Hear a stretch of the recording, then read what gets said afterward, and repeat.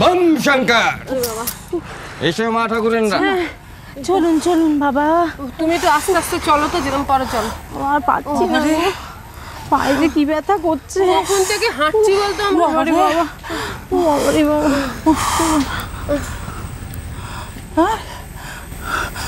ও সন্ন্যাসী বাবা। এ তো শিবতলা এ তো কোনো মন্দির নয়। ও বাবা এখানে প্রসাদ পাবো কি করে? ও বাবা গো আর পারছি না। কিন্তু পিছিয়ে আমাদের কি শাস্তি দিল বলো তো? কাজ করো মা ঠাকুরেনরা বাবার কাছে প্রার্থনা করো। মনের সমস্ত ইচ্ছে পূর্ণ হবে গো। বাবার থানে এসো। আর মনের ইচ্ছে পূর্ণ হবে নে তা তো হয় না।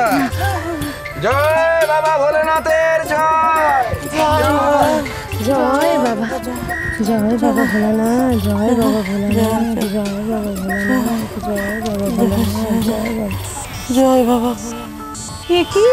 হ্যাঁ? কি? কি হলো? কি গো? এ তো সন্ন্যাসী ঠাকুর মনে হচ্ছে চলে গেলেন। গেল কোথায়? গেল কোথায়? কোথায় গেল? ও দিদি আমাদের তার কোনো আশা রইল না গো। হ্যাঁ রে বেজো আমার মনে হচ্ছে বাড়ি ফিরতেও পারব না আমরা। আচ্ছা আমরা একটা কাজ করি। হ্যাঁ। ভগবানের কাছে আবার আমরা প্রার্থনা করি। তাতে বরঞ্চ না একটা অলৌকিক কিছু ঘটলেও ঘটে যেতে পারে। চলো চলো চলো। ঠিক ছোট সেই বৃষ্টি পড়ার মতো। ছোট চল চল বাবার কাছে প্রার্থনা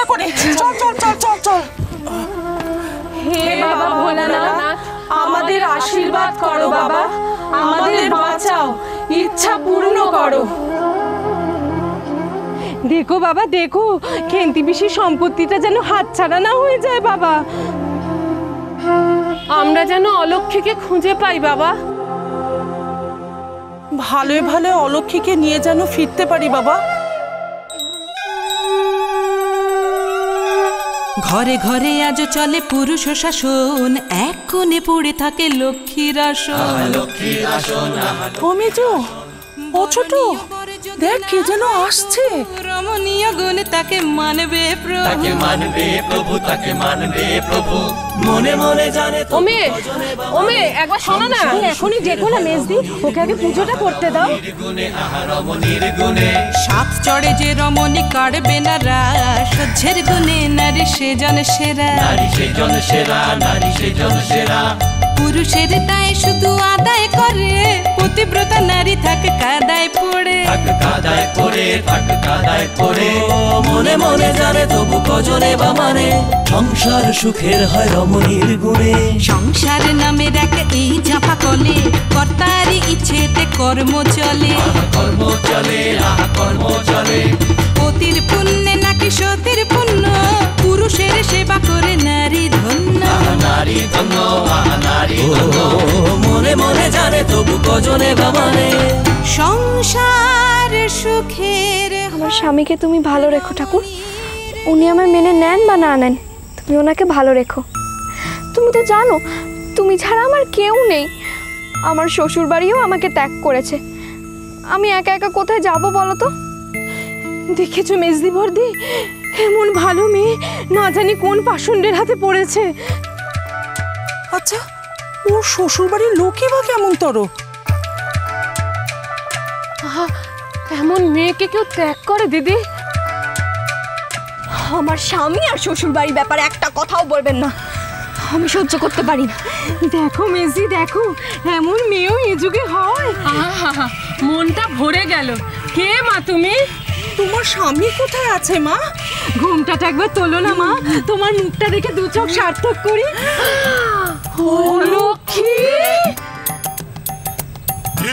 তোমরা? তোমরা এখানে এলে কি করে? আমরা তোকে নিতে এসেছি অলক্ষ্মী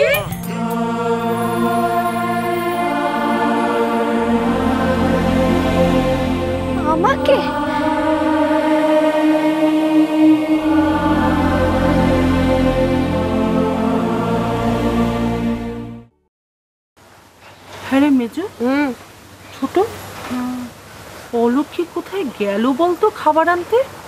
জানি না গো দিদি জানি না আমি। বাবা আমার ভীষণ মাথা ঘুরছে গো আমি কিছুই বুঝতে পারছি না। হুম।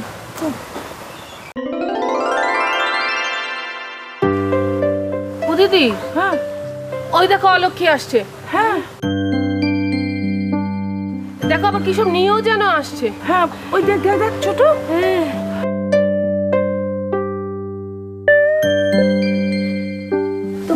খিদে পেয়েছে না গো? আমি পাশের গাছ থেকে তোমাদের জন্য চিড়ে দই মেখে এনেছি। এই নাও।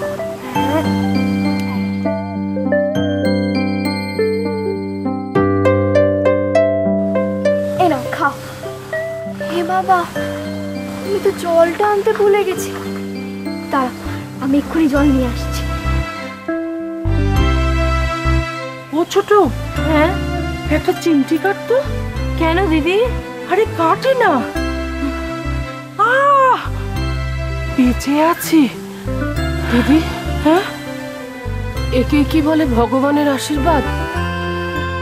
আমাদের বাড়ির কোন বউটা আজ পর্যন্ত আমাদের এইভাবে খেতে দিয়েছে বলো তো? সত্যি মেজো, কেউ কোনোদিনও এভাবে খেতে দেয়নি। জানি না গো দিদি, জানি না। এই মেয়ের উপরে আমি রাগ করব? নাকি একে বুকে টেনে নেব? কিছুই বুঝতে পারছি না যে, জানো, যখনই আমার মনে হচ্ছে যে এই মেয়ের জন্যই আমার বিষ্টু ঘর ছাড়া হয়েছে, তখন আমার খুব খুব রাগ হচ্ছে ওর ওপরে। আবার যখন এরকম যত্ন আত্তি করে খেতে দিচ্ছে আমাদের দেখছি, তখন না, তখন আমার মনটা কীরকম গলে জল হয়ে যাচ্ছে গো দিদি।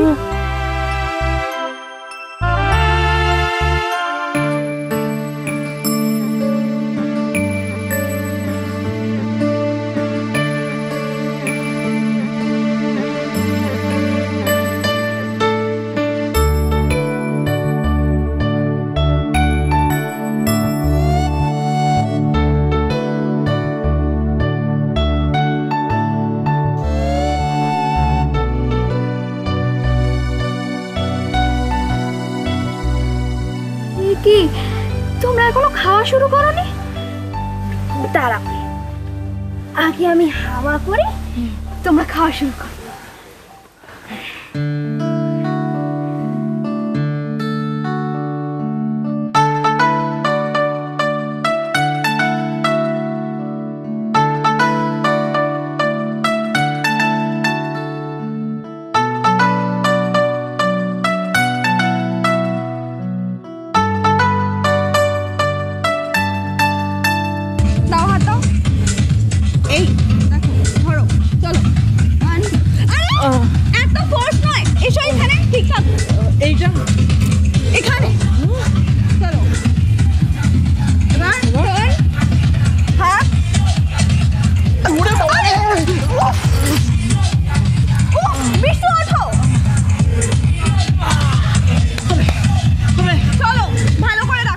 রাখো আবার what happening now one two three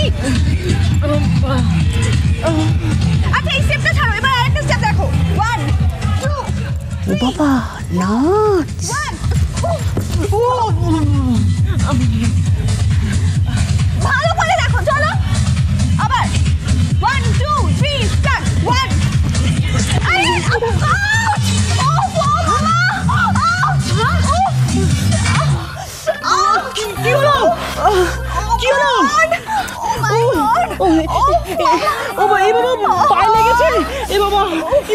আমার কিছু হয়নি মিষ্টি ছাড়ো। কিছু না বললেই হবে।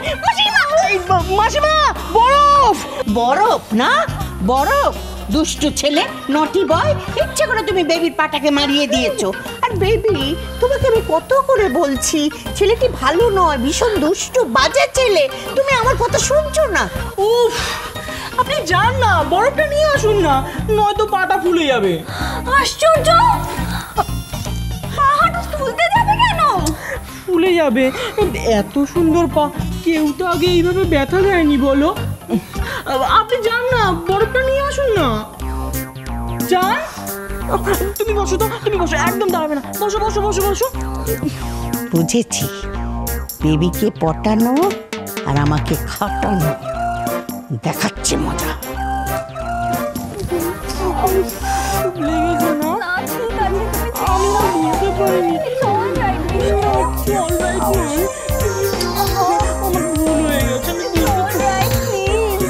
বরফ লাগবে, তাই না?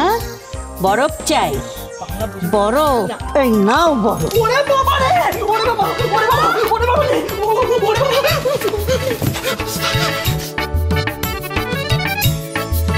আচ্ছা দাঁড়াও।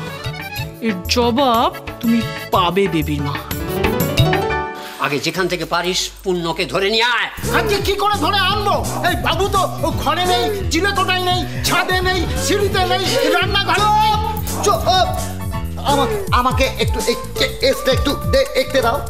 আচ্ছা দ- আদু এই সময় গায়ে। কেন? আচ্ছা, সম্পত্তি নিয়ে কোনো গোলমাল হলো না তো। বড় দাদু! সংসার সুখের হয় রমণীর গুণে